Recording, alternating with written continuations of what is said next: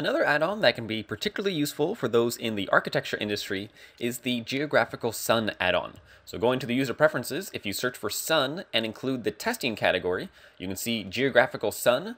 And what this allows us to do is go ahead and select our sun lamp, and then we have a geographical sun settings in our, in our lamp properties now that allows us to set the date and time, the location, etc., and allow it to automatically position the sun.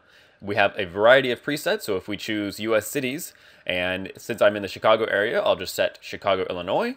I'll set it to the current time, and then I can go ahead and just say set sun position, and that will then adjust the sun to that time.